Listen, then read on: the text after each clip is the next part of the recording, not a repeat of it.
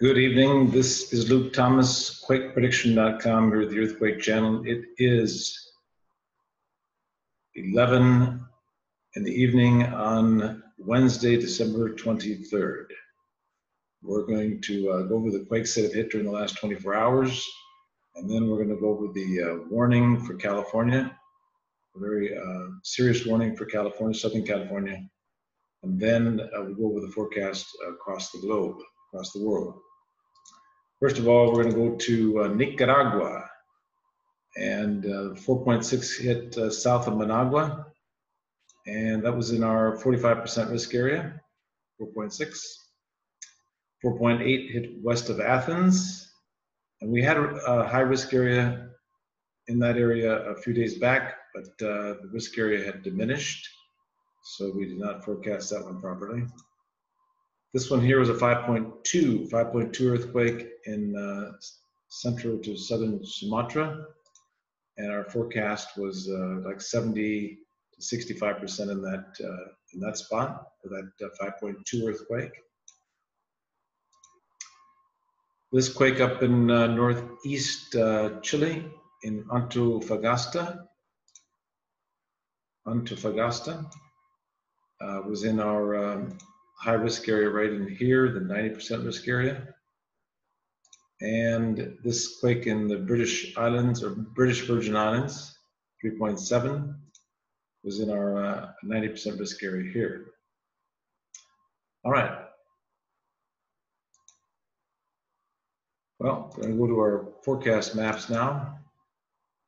And close some of these windows here. We have a warning uh, for Southern California. And we're going to start with uh, that.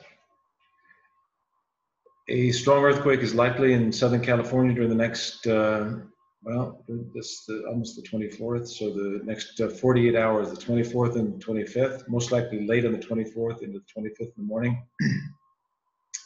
and here's the forecast map for the 24th.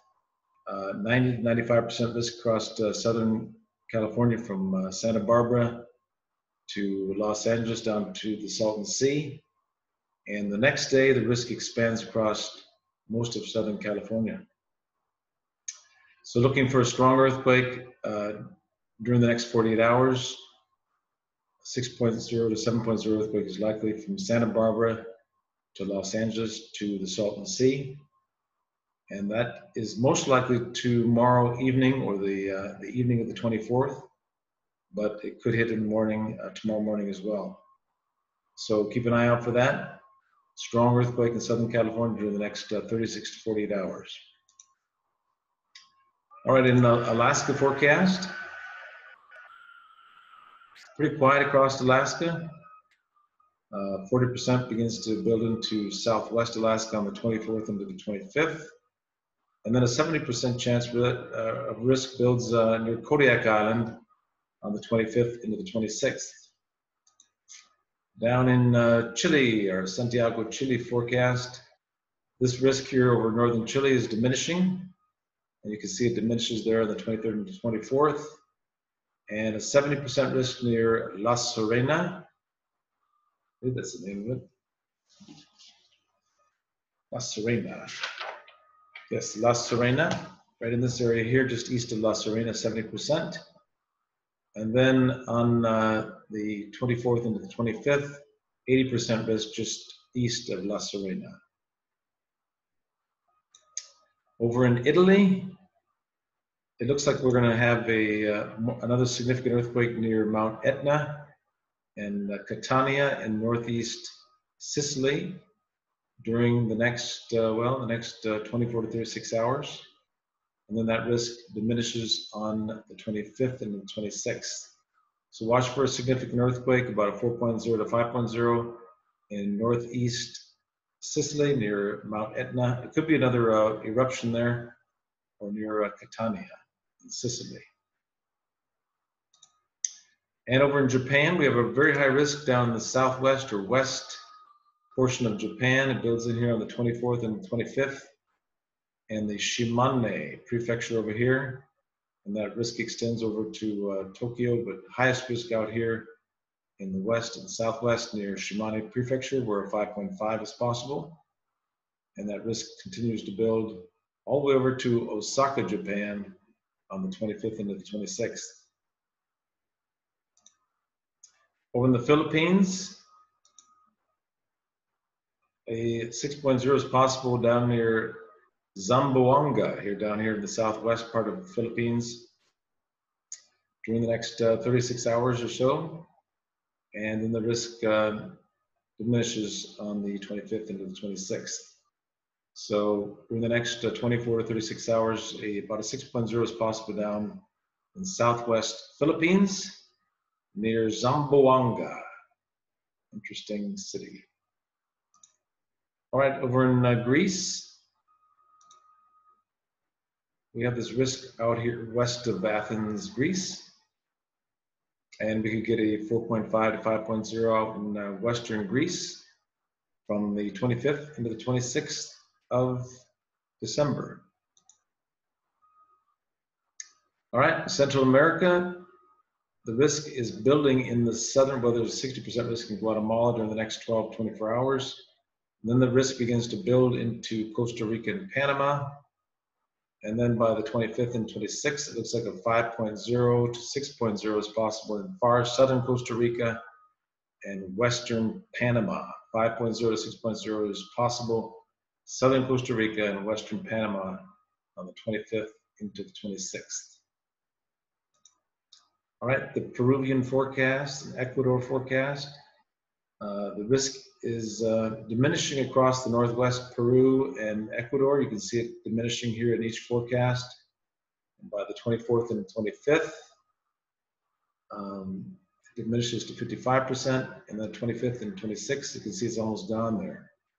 So that risk that produced those quakes near Ecuador is diminishing. I mean, we could still get a uh, 3.5, 4.0 in that area, but uh, it looks like it's diminishing. And over in the Indonesia forecast,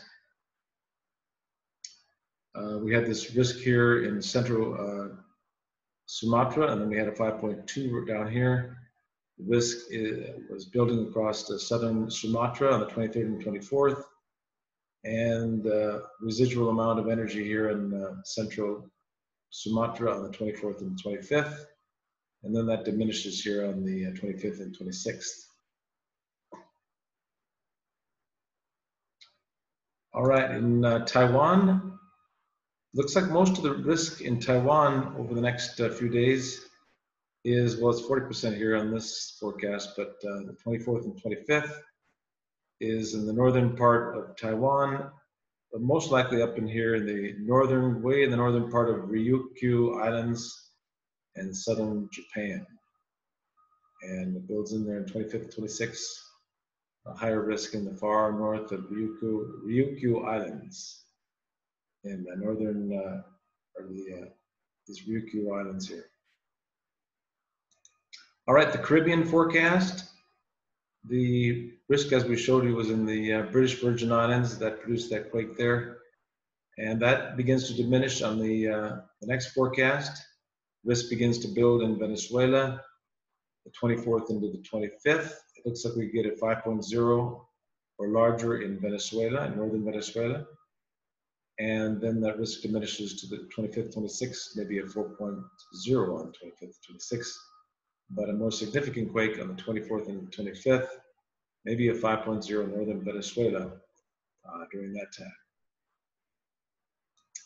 And the Seattle, Washington, and Oregon and Idaho forecast. Um, 4.0 is possible in southern Idaho, the 22nd to the 23rd. Well, that's an old map there. 23rd into the 24th is where we are now. And northeast Nevada, this uh, risk here in southwest Idaho, could produce a 4.0 to 5.0. And then that risk diminishes there on the 24th and 25th. And then increases on the 25th and 26th in southeast Idaho down into Salt Lake City. Over in Turkey, let's click on that map here. And 23rd to the 24th, southern Syria, and then on the 24th and 25th, looks like Eastern Iraq is uh, high risk there. And then uh, next, uh, south of the Sea of Marmara, we could get a 4.0 in that area, area of risk there, 24th and 25th.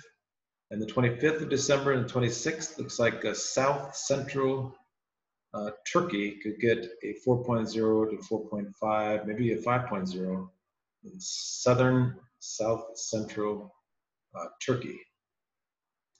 Once more, we're going to go over to the uh, California forecast, looking for a 6.0 to 7.0 uh, from Santa Barbara down to the Los Angeles area to the Salton Sea. So we have strong uh, signals that are coming in during the last few days.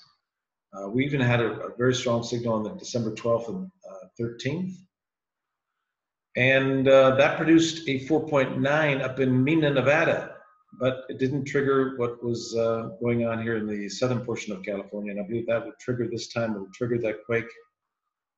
Strong quake is likely in Southern California during the next 48 hours, most likely on the 24th in the evening into the 25th in the morning. But it could occur as early as tomorrow morning in uh, Southern California. Happy holidays to everybody and uh, appreciate you uh, subscribing here at uh, YouTube and following our forecast. Thank you so very much, and we'll keep you updated. Please stay safe in Southern California for the next uh, 24 to 36 hours. Looks like a strong quake coming to the uh, Los Angeles basin and surrounding areas. So stay safe and uh, God bless. And we'll talk to you very soon. We'll talk to you tomorrow night. And uh, we will see you soon. Thank you.